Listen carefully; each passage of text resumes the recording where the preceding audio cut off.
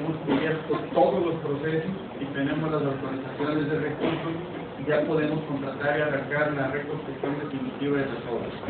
Queremos informarles a ustedes que las obras las clasificamos en ocho sectores. Por ejemplo, tenemos infraestructura carretera, ahí son 168 obras con un monto de 308 millones de pesos.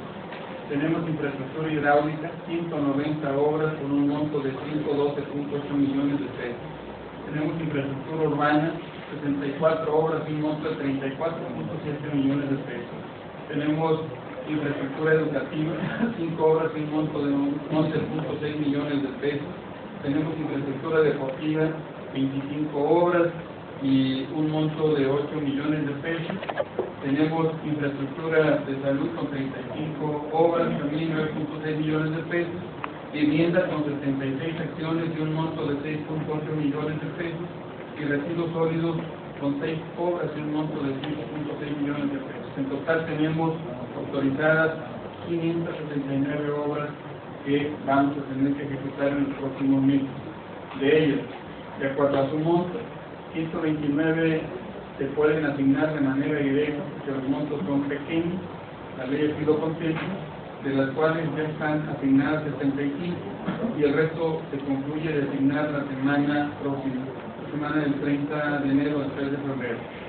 Hay 18 obras que por su monto se deben contratar con la modalidad de invitación restringida, es decir, en la que se debe invitar a por lo menos tres contratistas. De ellas ya están contratadas cinco, y el resto también se tiene previsto que termine su contratación los fallos en la próxima semana, la semana del 30 de enero al 3 de febrero. Hay 76 obras que se van a ejecutar por administración directa, que son las que van a realizar el DECOL.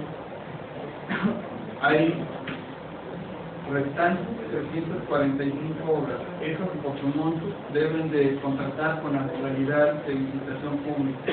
De esas 345 hay 42 que están ya en proceso de licitación. El 8 de febrero inicia la licitación del resto de las obras.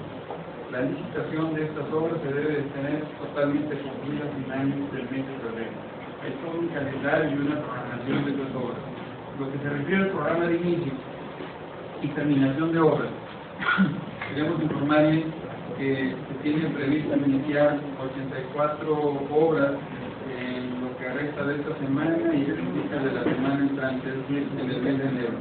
Cuatro educativas, 46 de vivienda, 9 urbanas, 15 carreteras, 4 de infraestructura deportiva y 6 de infraestructura hidráulica. En el mes de febrero se tiene previsto iniciar un resto, es decir, las 475 obras tienen que estar iniciadas en el mes de febrero.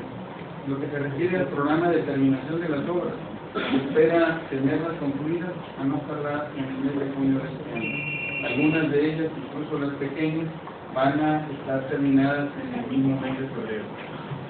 Compartirles a ustedes que se vienen trabajando desde hace varios yo instruí a las dependientes institutoras para que hubiera una comunicación permanente entre ellos que cuidaran mucho de que a un contratista pues, no le dieran más obra de la que tiene capacidad de ejecutar, porque tenemos la plena seguridad de que entonces no van a poder salir así.